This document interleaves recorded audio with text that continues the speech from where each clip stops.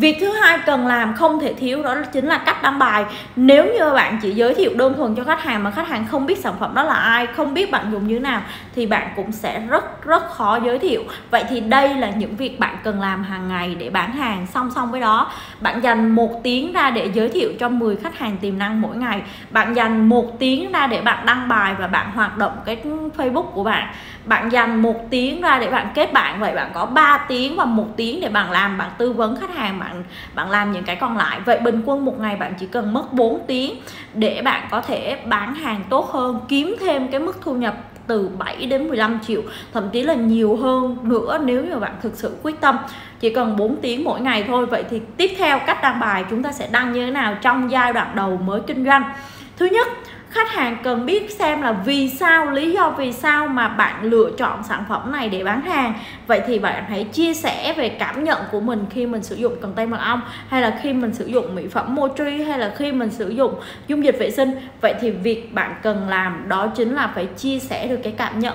Mà muốn chia sẻ cảm nhận thì bạn phải sử dụng nó đi đã. Bạn phải chia sẻ rõ được cái lý do vì sao mình thấy mình muốn kinh doanh sản phẩm này, bởi vì mình thấy nó hot, mình thấy nó tốt, mình đã trải nghiệm, mình thực sự có kết quả với cái sản phẩm này rồi thì mình hãy chia sẻ lên để cho khách hàng thấy rằng mình kinh doanh cái gì, mình bán cái gì cũng là đều từ góc nhìn của mình, lựa chọn rất kỹ càng trước khi mình bán cho khách hàng chứ không phải mình bán ẩu. Đó, là sau đó thì mình đăng bài thể hiện cho khách thấy cái điều đó. Thì mỗi ngày các bạn cần đăng 4 bài. Thứ nhất là cái cảm nhận của mình khi sử dụng. Các bạn có thể live stream live stream là một trong những hình thức bán hàng đang hiệu quả và tối ưu nhất. Các bạn hãy live stream, chia sẻ về cái sản phẩm này cho khách hàng. Các bạn hãy live stream hướng dẫn sử dụng sản, về sản phẩm này cho khách hàng. Các bạn hãy up một cái clip ngắn mà các bạn sử dụng cái sản phẩm này mỗi mỗi sáng cũng được. Nếu không có thời gian livestream và các bạn hãy đăng bài cho khách hàng thấy rằng sau khi mình cảm nhận mình sử dụng ok thì mình quyết định nhập hàng thì cái hình ảnh hàng đi hàng về nó phải có liên tục. Hiểu đơn giản trên Facebook bạn chỉ cần hoạt động liên tục và hoạt động những cái nội dung sau tốt nhất là bạn nên dành ra 30 phút mỗi ngày livestream chia sẻ cho khách hàng về sản phẩm, cũng như là chia sẻ về cảm nhận của bạn sử dụng sản phẩm. Ngày hôm nay ngày bao nhiêu bạn dùng rồi, ngày hôm nay bạn dùng như thế nào, hướng dẫn cho khách hàng về sản phẩm. Livestream một ngày 5 phút 10 phút cũng được, miễn là bật like lên. Thay vì chúng ta quay clip thì chúng ta livestream chúng ta tương tác, chúng ta chia sẻ sản phẩm cho khách hàng.